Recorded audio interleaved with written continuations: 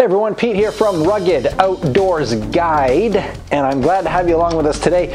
Hey, last video I did last week was about how to make your own do-it-yourself canoe carry yoke for a solo canoe. And this week, what we're talking about is how to put these guys on, how to make your own pads your own uh, yoke pads. Now you can buy these for, you know, anywhere from like 50 to over 100 bucks for a good set of yoke pads.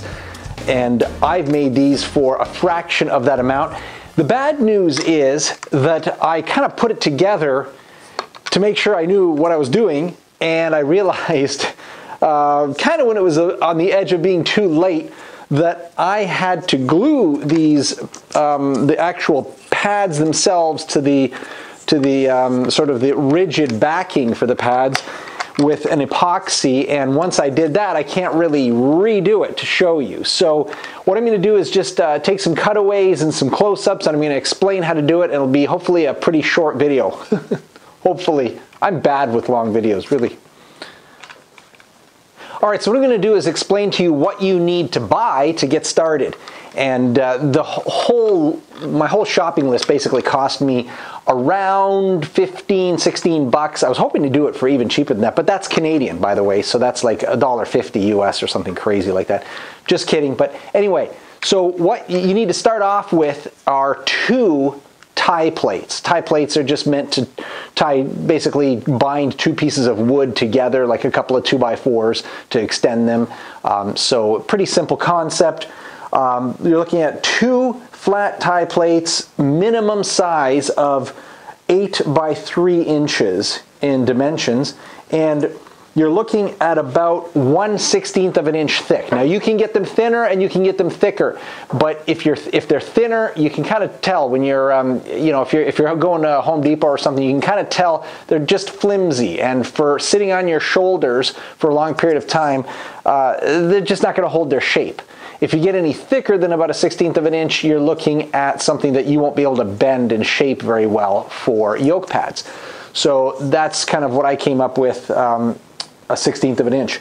Then you're going to need two wood spacers. And that's these little pieces in here that separate actually the pads themselves from the yoke. And that's not necessary, that's optional, but I want to create as much height between the yoke pad on my shoulders and the canoe because I got you know, like backpacks and things like that. And so I just don't like my food barrel banging against my seat when I'm carrying the canoe. And so I, I find that if I can separate it even, even more than this would be good, but I would say just so that it's not bulky and awkward, keep it to maybe um, you know, an, an inch thick, maybe an inch tall. So the next thing you need is four two inch hex head bolts, uh, about a half an inch thread. Um, they are, that's probably uh, the right size. You're going to need um, two in each one uh, to connect them. You can't use one because they'll swivel and that's not really a good thing. So I have two, and anything you can do a bit smaller, the size smaller, uh, in terms of the thickness of it. Yeah, whatever. It doesn't really cost much different, and I would just stick with with this size, the uh, two inch long, half inch thread uh, bolts. The next thing you need is four four prong T nuts, and these are located right here on the back uh, of the yoke, and it's actually the, the side that's facing the, the canoe when it's on your shoulder. So it sits like this, and what you need these for is for the bolts to actually screw in. You don't want to have the bolts coming right out and then a nut on there. It's just more stuff to, to catch on, to stuff and drag, and maybe even rip something important. So I would suggest that you use the T-bolts or T-nuts for, um, you know, the, the, receptacle. Instead of a nut, you want a, a, a T-nut to um, uh, be kind of flush against the wood. So there's just a way better deal than having a regular nut and the bolt sticking way up out of it. Okay, and there are two final things that you're going to need, and that would be the actual padding that goes on to these uh, tie plates once they're bent in, in shape. and uh, it, it kind of looks like this. This is a uh, this is just a leftover piece. It's just a kind of high density foam. It's not super high density so you can't even press it in, but it's not a piece of foam like you would have in a sponge, for example. This is dense. This actually repels water. If you put it in water, it'll pop right back up and uh, it doesn't absorb water at all. That's what you want.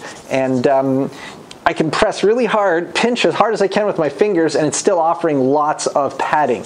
So wherever you can get that, I'll, I'll try to put some links below on where I can direct you to where you can get some of this. It comes in different colors and styles, and uh, they feel a little bit different one from another, but whatever. There's all kinds out there, and I will direct you to where you can get your own. And that's what's going to go right in in here against your shoulders uh, inside the, the wood or the uh, metal tie plates that have been bent into shape.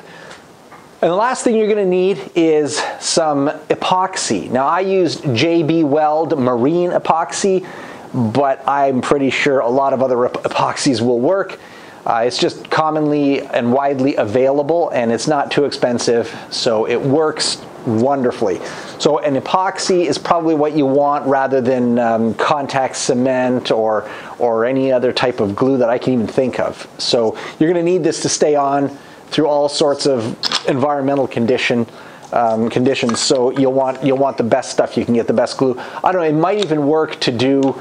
Um, you know, PL Premium, I don't know. Construction adhesive, I haven't tried it. That might work as well. If you have some kicking around, it might not be uh, a bad thing to try. In fact, I know that dry PL Premium feels exactly the same as this dry JB Weld epoxy, marine epoxy. So let's get into exactly how I made these uh, so you can kind of get an idea of how long it takes and what it'll look like. All right, guys, so now I just need to tell you how I found the exact place for these pads on my yoke.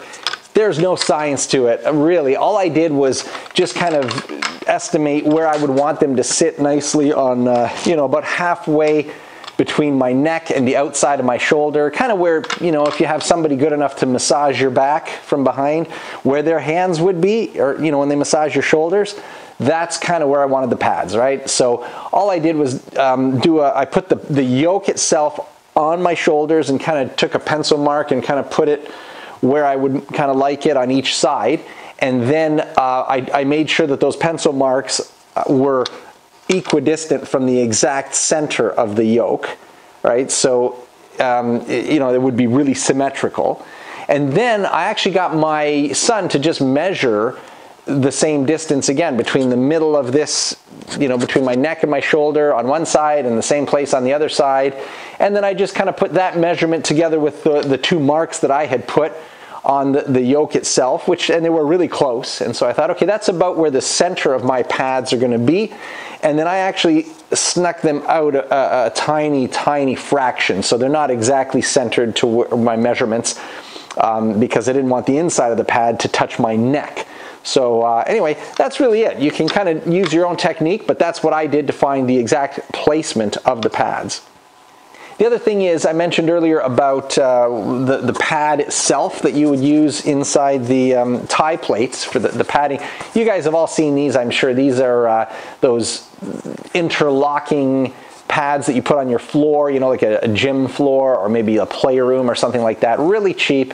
You usually buy them in stacks of like, you know, uh, half a dozen or a dozen of these things. You don't even need, uh, you know, a quarter of one of these. So um, I don't know if you have them lying around, if you have any extras, they would be a good option, or you can you know spend the amount that it takes to buy a bunch of them and maybe use them for something else. But anyway, they're they're a little bit um, tougher and um, more sturdy than the pads that I use, but only a little bit. And what I wouldn't mind doing if I didn't have the pads that I, I just came across the ones that I use just lying around my my I, I have I have everything. I'm kind of a bit of a pack rat, so I've got a lot of junk. I would, this is a really good option if you double it up. I would uh, do two layers of this. You could do one, but two layers is fine. Uh, it, it's, it's no skin off your back. You're gonna have a lot of this material and it's just that much better and it makes the canoe sit a bit higher. Plus it's more padded. So it's win-win all around if you do maybe two layers of these attached to each other with the same epoxy that you attach it to the, the metal tie plate. Okay, so here's a close-up of the um, yoke itself and the bench that I was working on most of the time. And you'll recall that I talked about these hold-down clamps in the last video. If you saw, I'm not going to talk about them today. I will just talk about these, the pads themselves. So I took the tie plates and I actually put them into, one at a time, into just a vise, a bench vise, and I used a mallet to kind of just kind of hit them into place, kind of mold them, and then realized I could just do it with my hands. But you got to be pretty firm about it. You can't. Uh, you can't you can't be gentle at all because you'll need some real power to uh, mold these and and the problem is that they're not going to be uh, perfectly curved there's going to be a little tiny bit of an extra kink where you have it in the vice unless you're you know you, you really finesse it. But that's really what you're going to have because they are fairly tough and you you kind of got to give them um, you know a, a, real cranking and they're going to bend at a particular point more than the rest of it. But it doesn't really matter in the end. So once I finished uh, shaping the tie plates then I acquired these two one inch risers that would go under between the tie plate and the yoke. And uh, that was just they were just leftover pieces from my the yoke that I cut originally when I cut it down. And uh, so they worked perfectly. And then I just basically made a hole straight through both the tie I made two holes. You can see them right here. It's kind of dark. I don't know if you can see them there. There's two holes that I drilled, and you can see them through the padding because I had to make the holes in the padding to access the, the bolt heads, the hex heads. But I drilled two holes in the, the tie plates right through the spacer and then through the yoke itself. And then you can see on the back, I put the two T-nuts in. And in this case, because this is hardwood, the T-nuts normally, if it was softwood, you can just sort of smack them in. Make a, a pilot hole, a hole big enough for the T-nut uh, bottom to fit in, and then you just use a hammer and smash them in. The problem is that uh, with hardwood, it's really difficult and it can cause it to split. And so what I did was I actually made little tiny holes with an awl uh, where the T, T-nut uh, prongs would go in. So you'll figure that out. If you don't know what I mean, you'll figure it out when you start doing it. So it was not a hard thing to do. So anyways, I was able to put two of those there and two on the other side here. And um, once the T-nuts were in, it was just simple as, as putting uh, the matter of putting the, the bolts right through. So what I did then is just before I put the bolts through and permanently attached it, I, I put the, the, the, the padding, the foam padding inside the tie plate and made an impression on the one side that I pushed against here, I made an impression of where the, the bolt heads were going to be. You could see them, they impressed into the foam. And then I just cut out in a sort of a kind of a haphazard way, actually, uh, two, two holes inside the padding itself, right where the, the heads were going to be, because I need to have access to those you know, to take them on and off and, and to adjust them. If they get loose, I need to tighten them. So, um, so I made the holes, and then once it, once I, I kind of lined everything up, and that's when I glued it together. So that's kind of the process. The last thing I did was glue it together, and then once I finished gluing it together, I used any any sort of clamp. I used a clamp kind of like this to clamp the two sides, like I just clamped here and here, but I had a piece of wood, kind of like this one, and I put it here and I clamped it here, and then I did the same up top here. So two places, so in, in, in for each pad, so four in all, uh, clamps and pieces of wood. So that just held it in place while the glue was drying overnight, and behold, that is the result. So um, it's, it's in one sense, it's not super pretty because you've got these holes in the padding, which, well, you know, ideally I wouldn't want there. I'd want it just to have the nice padding. And then if you look carefully, you can see along here there's a ridge of a sort of, uh, uh um, uh, I don't know if I want to call it a kink or a ridge. And there's another one on this side, right along here, simply because that's how the best I could do in a vise. Um, by bending it, you know, putting it in the vise and, and kind of shoving it over. But it really didn't make any difference in the end. The, the padding glued on quite nicely. So that is really it. I did that times two. It took me about, uh, well, all total, the work itself was probably about an hour, though I had to wait overnight for the glue to dry. And that's the final result.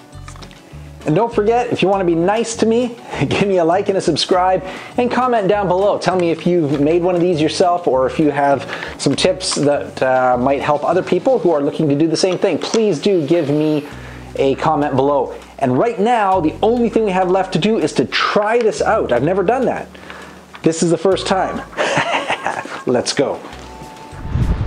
Oh, pure luxury my shoulders. I feel like I'm being massaged. It's awesome.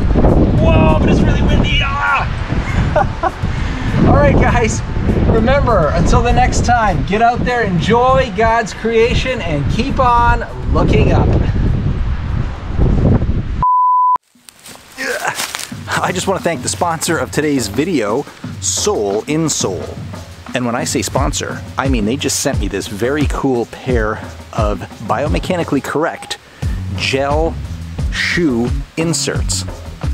And they didn't pay me any money. Which means I'm free to tell you what I really think of these, because they don't own me. Ow. Okay guys, seriously, all joking aside, sole insole adhesive inserts actually are really, really comfortable. They fit any shoe because they're small. It actually helps correct your gait that is the way your foot is shaped when you walk. Like, you know, if your ankle kind of rolls to the inside a bit and your knees kind of come together, if that's kind of how you walk, that's called pronation. And it really helps for that. It helps to, to correct that over time. The greatest thing of all about these things is that they have regenerative adhesive. Does that mean they're alive? So guys, like you, I have seen insoles for sale everywhere, forever. You might ask, well, then what makes these so much different? Well, I'm glad you asked. So here is what makes these gel sole insoles unique.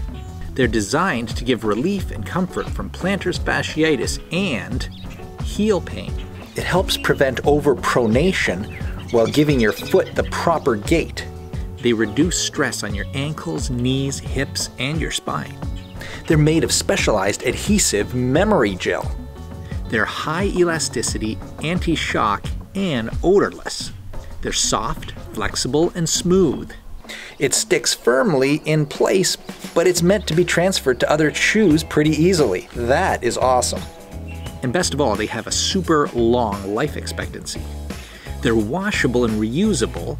You just gotta like run water over them after they're really kind of junked up with lint and all the other junk that comes in your shoes, and they're like new.